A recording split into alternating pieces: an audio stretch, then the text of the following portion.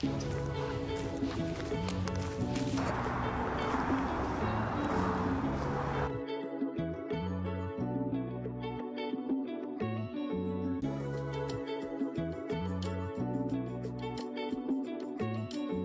every morning I wake up now and I have a routine. I was pretty good at routine even before the job, but this time I'm going to tell you guys how I'm kind of like redefining and refining how I go about the freelance journey in my last video, I talked about how I had to go back to a 9 to 5. I was just released from that 9 to 5 at the start of September 1st, and now I'm back in my freelance bag. Now, I will say before we dive into this journey, I have accomplished a lot within that year and a half of being at that job. One for starters is I did sign with a agency and I do have a photography rep and I'm with Five Village now. I love it there. Okay. And my focus is hair and beauty these days. So I'm really focusing and channeling all my like energy into shooting beauty and hair. Um, and then on top of that, I have Astral Media. So the journey will be a little different. Um, but I want to share this aspect because I feel like I don't know, I'm in a very like good position to document this and I know that a lot of photographers online question like well how do you go about certain things or just have questions? And from mentoring with juice i feel like i have kind of tapped back into what younger photographers may want to see. So i'm going to start to share more of that on my channel too. Um, but a lot of it's going to be self work too. because what I found in my journey, the stuff that you do to take care of yourself first ultimately matters more when it comes to the creating aspect because you want to be in a energy that is not of survival that is that is coming from a pure place before you really dive deeply into your creation. I mean, okay, I don't want to say that because I will say that I know people that create from survival mode and make beautiful work, but it's like where where do you want it to start pouring your light into? Is it going to be a place where you're going to be receiving that same energy back, you know? Um yeah. So I start my days creatively and I go to the park, okay? And I like to, whether or not I go to the park or the beach, it's either one of the two. It's really, it really depends on my mood. I'm a Sag moon, so I kind of like different things at different times. Right now, I've been feeling like the woods. I've been feeling like, okay, I want to go for a hike in the neighborhood type of energy. Um, so it really just depends on like where I'm at mentally. And I've been in my hiking mode a month ago I was in my water mode, so I was swimming. um, but whatever I do, I really like to connect early in the morning. I feel like it really sets the tone for my day. And I don't really put a lot of pressure on it, honestly. Like, I don't say, oh, I have to walk like 30 miles, you know? Like, I used to do that. I think it was a part of my journey where I used to like put pressure on, like, oh, I'm going to commit to this and I'm going to commit to that. That. But then I was like, okay, you're getting caught up in the goal and you're not really present. So, my goal now is just to be present in the moment, present in this space and i find that that calm actually is a lot better than putting another check mark on on this like invisible list. To understand that like i'm really safe and alive. And i think as a creative understanding that you are alive and you have this opportunity to create something new to create an idea to um, connect to other people or just tell a story. Sometimes you just want to tell a story. And sometimes that story comes to you specifically so that it can touch another person so that they are able to see through that. And yeah, I really believe that the things that we grow through and we share later. Really are testimonies for someone else like your story. That's why telling stories is so important. It's really important because it helps other people see okay i'm not the only one that's growing through this. People not feel so alone in the world because boy even though we're super connected i mean people could still feel alone. Um, so four things that kind of like I've been practicing myself personally that I've done on my journey that have helped with like getting me back to center. One is acupuncture by Natalie. I've shared a few videos on here and she really helped me connect back to my creative energy and really center it channel it and understand the flow of it and where I'm outputting that energy. Two is going to be Watsu. Watsu is a water therapy practice. My client, first, well, like second client for Astral Art Medium, but also a good friend, Dara, to share her practice with me it was a great experience. Um, you're basically in the water, and your body is like literally um, kind of like yoga in the water. But you're floating the whole time. They're guiding you through it. You go underwater, you're above water. It's just a beautiful experience. And for that, it really took me back to, um, hmm, feminine energy, mother space, like the womb, and it really centered. I would say it took me back to my inner child. Like, what did I really want for her? Very, very great experience. So I said acupuncture, Watsu, talk therapy, of course. I'm just put on the list, but I haven't been in talk therapy honestly since 2021.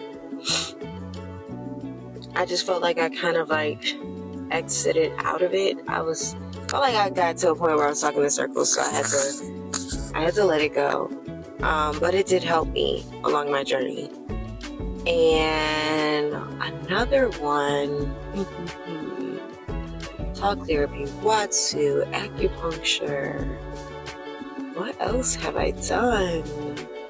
And also, just like this one is a lot more indigenous, but road opening, and this one is probably not for everyone, but clearing your paths and meeting with a practitioner who is able to do that and facilitate that for you is also good. Um, because sometimes we overthink things or our mind is like on haywire. And i think that we forget we have the power to manifest like we're going into an age now which is why i'm starting to make these videos where the mind and making sure your mind and mental has clarity is going to be so important.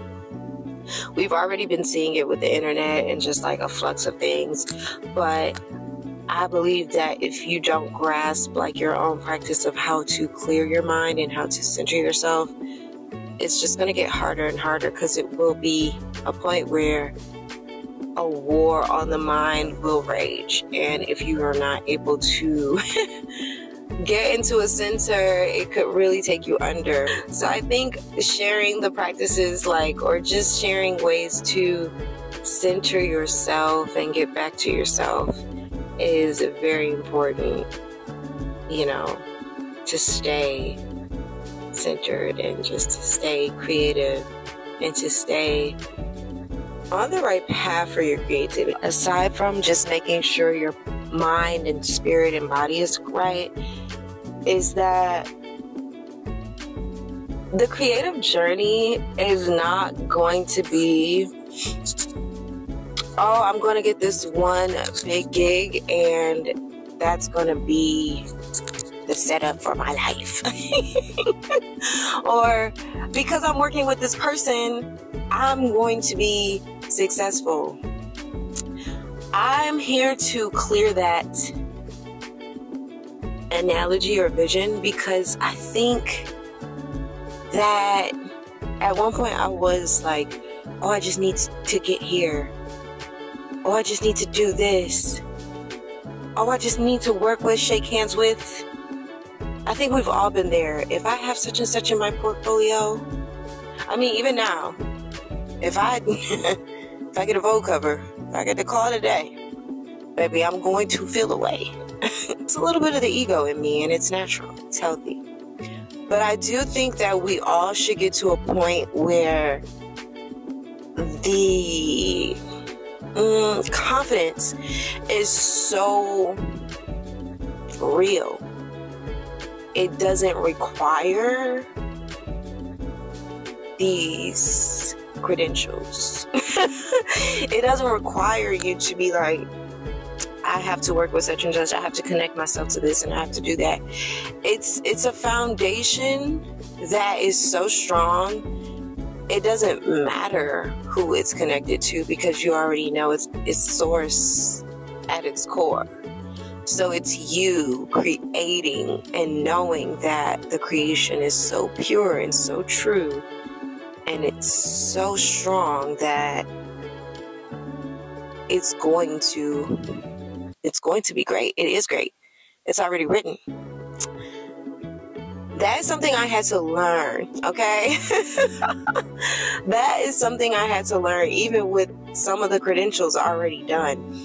Um, you'd be surprised though, some people with the best credentials still have don't have that foundational core within them of belief and faith that no matter what happens to them, they can start again, they can be again, they can renew again. Um, I was watching something and it was talking about how millionaires or billionaires, they always fail. Like, failure is a part of the process, which is why in my last video, it took me so long to sit down and make that because maybe it was a little bit of a shame, but also it was honestly, it wasn't always a shame. Honestly, it was really just me shifting and trying to figure out my thoughts and processing still, and also finding where I wanted to talk about it. I think where and how you talk about it also evokes how the video comes out.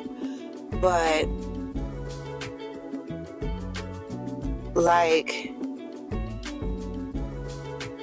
that was failure to me to have to go back to a nine to five. that was failure to me. And I was so, I was fighting myself. I remember being on the phone with my mom and I was just like, Mom, I have to go back to a nine to five. This is so out of body for me. I hadn't worked for like four years. I hadn't had anything on my resume for four years when it comes to like clocking in. And she was like, Jasmine, actors, people in like film, they always go back and work as a bartender or something. What are you talking about? And I was like, yeah, but I'm not like really into that. I'm not in that industry. I'm like, I'm a photographer. Like, what is happening? But I just didn't understand why I had to backtrack. And I'm just here to say that sometimes, like, that failure is there, or quote unquote failure, or is it just a slingshot? Is it just like about to get you into your next thing? Because right now I feel so much stronger than I did like a year or two ago.